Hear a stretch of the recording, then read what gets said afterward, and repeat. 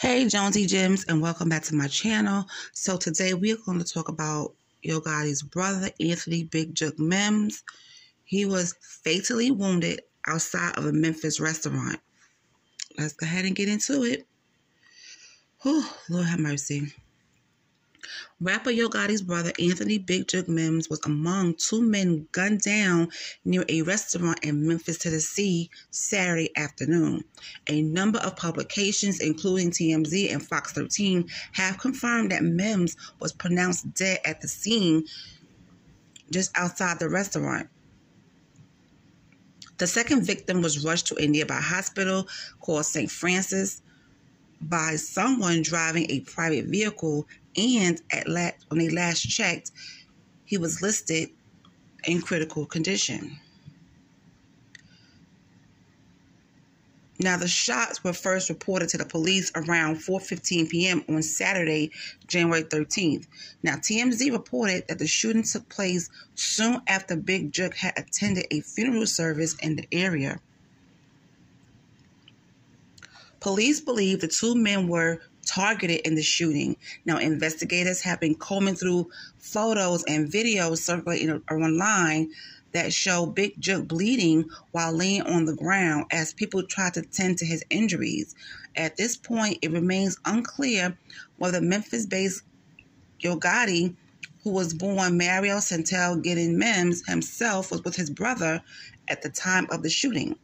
The Doing Too Much rapper hasn't addressed his brother's death just yet.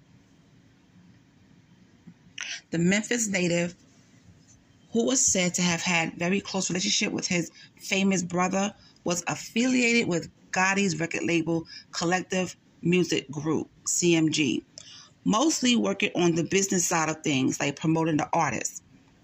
It was founded in 2012. CMG has gone on to sign successful acts, including Moneybagg Yo, 42 Dugg, Blac Youngsta, Glorilla, ESTG, and Mozzy.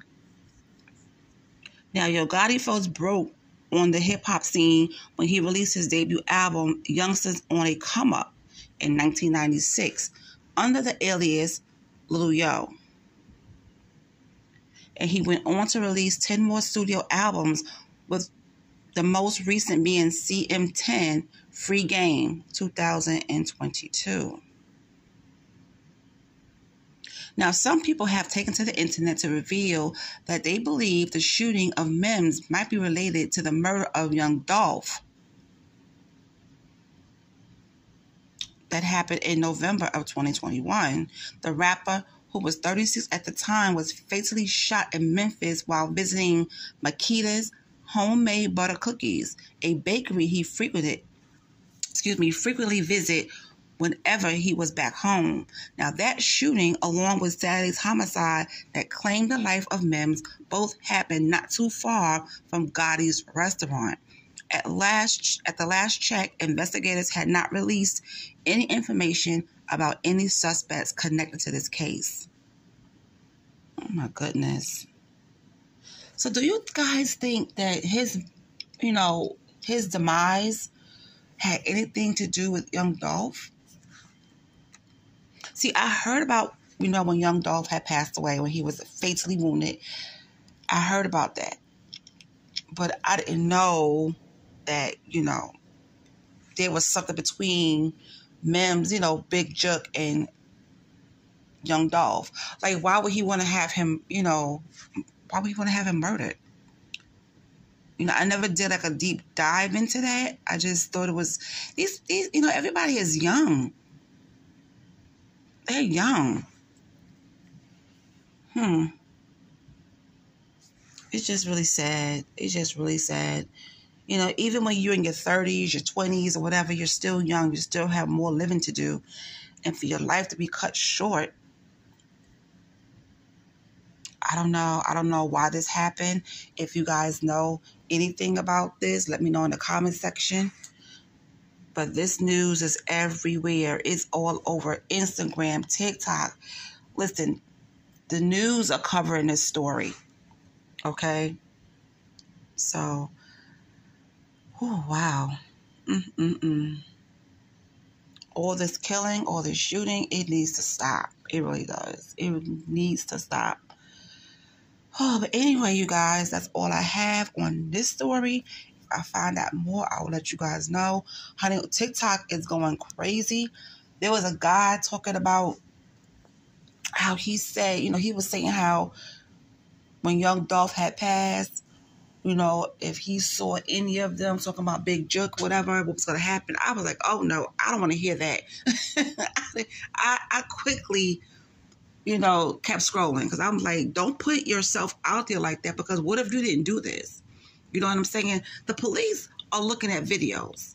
Okay, the police run to social media. They use social media as a source. So if you're putting something up there, connecting yourself to this murder, and you didn't do it, you need to go back on social media where you put it and say, listen, I don't have nothing to do with this. I was just mad at the time. Because we all know the cops be watching, child. The cops be watching. Social media is their number one source. And whoever they have working for them, okay? So you guys gotta be careful what y'all saying on social media. Don't do nothing to incriminate yourselves if you don't have anything to do with it. But then again, sometimes killers, they're not going to sit there and tell themselves, okay? Some killers want to get away with the murder.